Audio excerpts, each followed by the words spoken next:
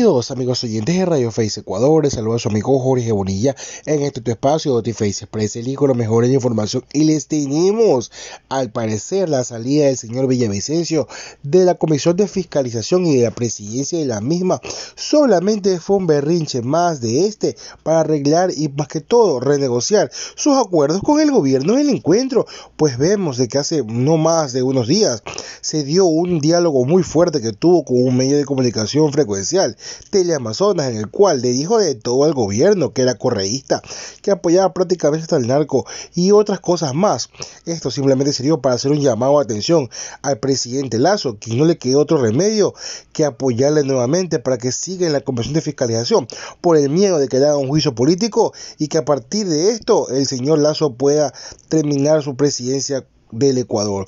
Por favor, es muy importante que suscribas a YouTube, que nos dejes tu buen like, active la campanita y te suscribas en todos nuestros medios oficiales. Recuerda, Radio Face, un medio del pueblo, siempre para poder informarte. Con esto arrancamos. Vemos que el señor Villavicencio simplemente quería un nuevo acuerdo laboral con el gobierno. Esto lo hace saber él mismo por de sus redes, quien deja saber que ya prácticamente el señor Lazo le rogó que continúe al mando de la presidencia de fiscalización, porque sin él es muy probable que todas las fechorías que hace el gobierno del encuentro salgan más rápido a la luz, pues quien es el dique que bloquea todo esto es el señor Villavicencio, y eso hay que tenerlo claro. Por eso él, en una entrevista previa que dio antes de que se retracte, dejó bien claro que iba a dar con todo al gobierno. Por eso no le quedó otro motivo más al señor Lazo que tenía que renegociar con el señor Villavicencio. Por esto el día de hoy ya se retracta y dice que va a continuar en la presidencia de fiscalización y que si quieren le voten.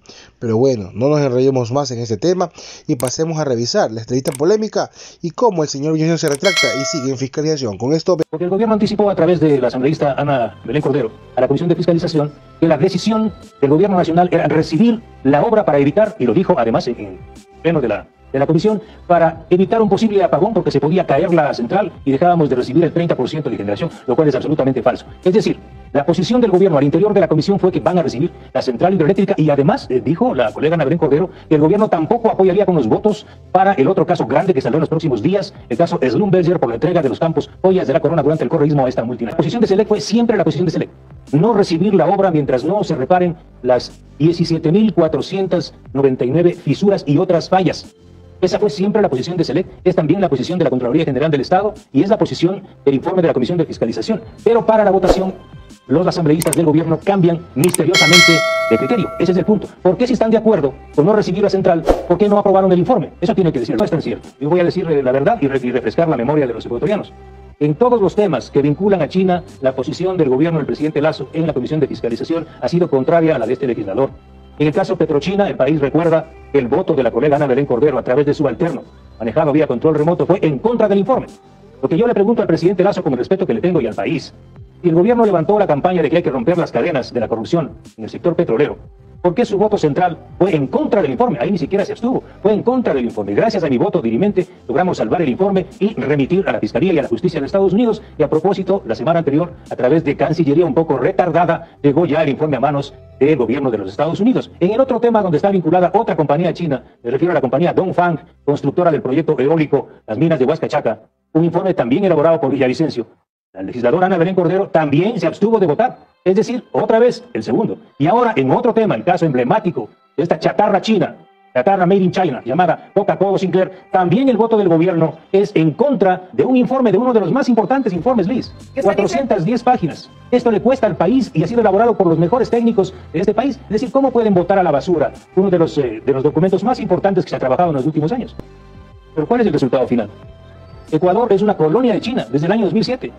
El correísmo nos entregó a China y el gobierno de Moreno y el gobierno del presidente Lazo son incapaces hasta el momento de recuperar este país legales en contra de la compañía china, en contra de la fiscalizadora y particularmente en contra de las autoridades, tanto del gobierno de Rafael Correa, del gobierno de Moreno.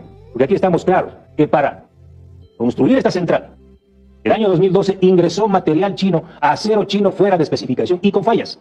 Y eso sabía el gobierno de Rafael Correa y eso sabía la empresa fiscalizadora. El 2014 sabían el acero de los distribuidores estaba fuera de especificación y pese a ello autorizaron el encolado del acero en centenares de toneladas de hormigón y algo mucho más grave. ¿Y quiénes son los que autorizan? Los funcionarios del gobierno de Rafael Correa autorizan que la recepción de la planta y el arranque de la planta en el año 2016, sabiendo que existían fisuras. Desde el, desde el año 2018, y aquí está el cuadro de SELEC, al 2018 habían 7.700 fallas. En apenas tres años se han multiplicado a 17.499, pese a que están repara y repara y repara. Aquí están las fallas. Estas son las miles, las 17.000 fallas de la central hidroeléctrica contratada por la Revolución Ciudadana. 17.000. Milton, ¿tú recibirías una casa con fallas? No, ¿verdad? Pero como es el Estado, el pobre Estado, ah, ahora sí no importa, estamos, dicen, en un arbitraje, por supuesto. Pero ya se ha confirmado en instancias anteriores la existencia y la responsabilidad de la compañía china Sinohidro. El Estado ecuatoriano no puede recibir esa obra, no debe recibir esa obra mientras no se reparen las fallas y se garantice la vida útil de 50 años y algo más. No solo estamos hablando de las fallas, estamos hablando de sobreprecios. Esa obra debió costar el año 2007 apenas mil millones de dólares, pero incrementaron la capacidad sin estudios. Lo que prueba el informe nuestro es que no hay estudios para haber subido la potencia a 1.500 megavatios, que disparó el contrato a 2.000 millones de dólares, financiado con una línea de crédito con interés chulquero del Exim Bank, que le obligó al Estado ecuatoriano, como ellos ponen la plata, le obligan al Estado ecuatoriano a asimilar o asumir a la empresa constructora Sinohidro. 2.000 millones de dólares el año 2009 y el año 2010. Y para el año 2017 la cifra se disparó a 3.300 millones de dólares. O sea, Milton, ¿tú crees y el país, compatriotas, que no se debe investigar este incremento colosal, descomunal del costo de mil millones a 3.300 millones? Y algo mucho más grave, porque todas las obras chinas, todas las obras chinas en el Ecuador están marcadas por sobreprecios, pago de sobornos, financiamientos de campañas electorales y no sirven casi para nada. Para, para alzarse con el negocio, con este contrato sin oírlo, y también el Exim Bank, intervino la negociación. Aquí están los recuerdos de esta familia. Esta familia unificada. La hija de Conto Patiño, el yerno de Conto Patiño y el expresidente Lenin Moreno. Fue Lenin Moreno quien en el año 2010 directamente con Kai Rung-wo, embajador de China en Ecuador, destrabó la línea de crédito que estaba por ahí abandonada del Exim Bank y permitió la firma. ¿Quién autoriza la firma del contrato? Rafael Correa. Aquí está la firma, expresidente Correa, la suya. Usted, gracias al acuerdo alcanzado por Lenín Moreno con Kai Rung-wo, usted dijo, gracias Lenin, vamos a la firma de, de la línea de crédito y que arranque el contrato de construcción de Coca-Cola Sinclair. Es decir, aquí no estamos hablando solamente, Milton, de las fisuras. Estamos hablando de que la compañía china Sino Hidro destinó 54 millones de dólares. Eso es lo que descubrió la Comisión de Fiscalización. 54 millones de dólares para pagar sobornos, comisiones maquilladas como consultorías. Y de esta gran suma, 18.3 millones fueron justamente a las cuentas del amigo de Lenín Moreno, Ponto Patiño Martínez, lo que se llama el caso INA Papers, dramas de corrupción. Y luego, el 2013, expresidente Correa, Kai Rungo y Sino Hidro le financiaron su campaña. Expresidente Moreno, Kai Rungo y Sino Hidro le financiaron su campaña. ¿Y eso también es un delito o no? Actos de corrupción.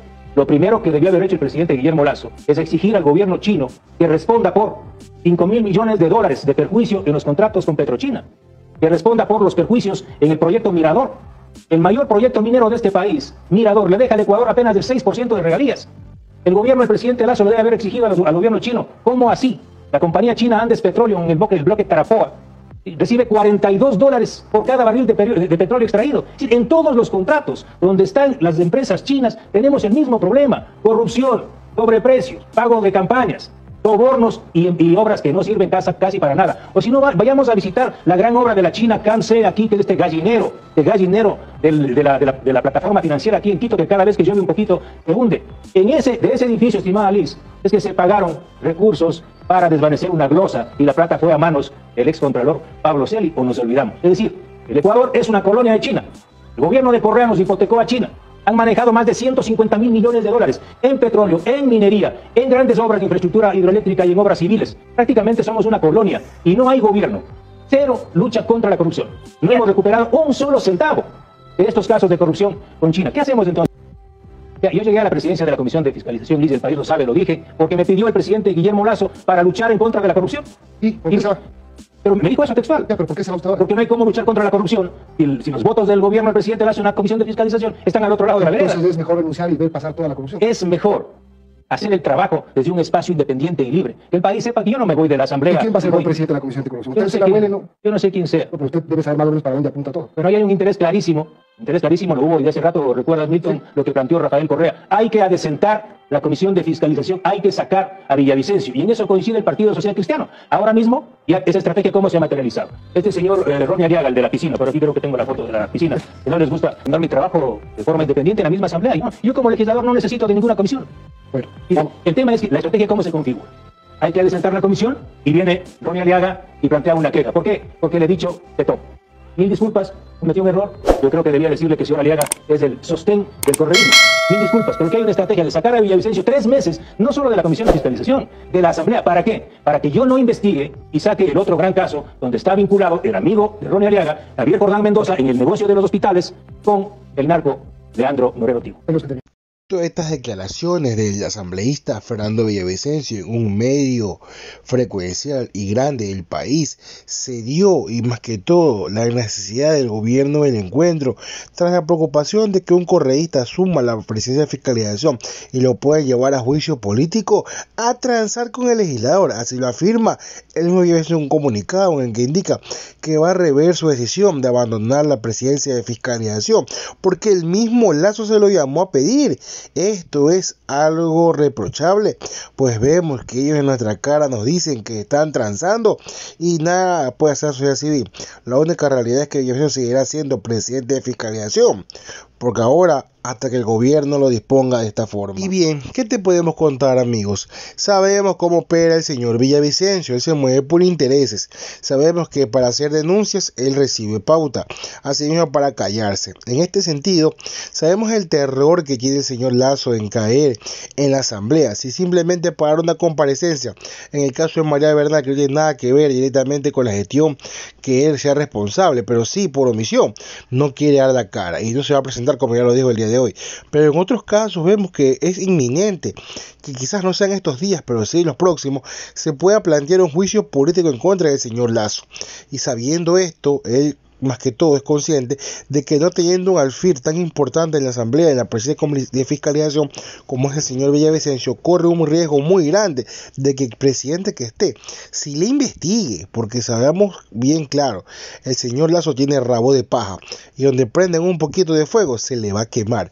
Por eso que vemos que después de esta polémica, que vemos que el señor ya sale, habla de los correístas, habla de Coca-Cola Sinclair, habla del señor Lazo que prácticamente está ayudando al correísmo, algo tirado de los cabellos. Netamente eh, no pasó ni dos días de esto, tres días a lo máximo, y ya el día de hoy se retractó.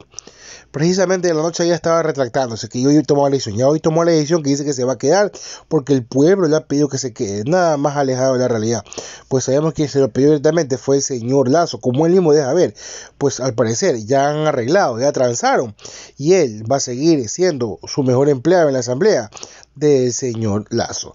Por ahora creo que con estas informaciones no queda más que decir que pese que el señor no se va, posiblemente igual le queda la sanción de tres meses, en la cual lo empieza a dejar fuera de la asamblea por haber hecho cosas a Roñal Llaga. Por ahora nos despedimos, tu buena y te suscríbete al YouTube. mis amigos, la próxima